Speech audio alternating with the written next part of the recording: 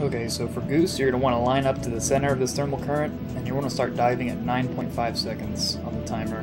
Get pretty close to the ground. And once you get close to the ground, you jerk right back up, and once your speed hits 120, you hold up on the stick. And this will level you out before you get too high. And then you're going to want to dive to uh, lose your speed again, right here. You kind of want to trace this ditch.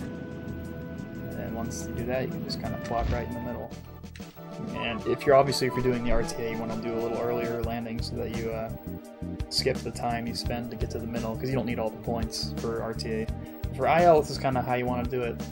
It's a pretty solid time. Uh, just keep an eye on my input, kind of like play back my video and look at my inputs. But besides that, there's not much to it. Just kind of knowing when to press what, and kind of use the timer to your advantage if you need to, or use your speed and altitude and other visual cues to know when to press things. It's kind of helpful. That's what I use. So hopefully this will help you out. Have fun.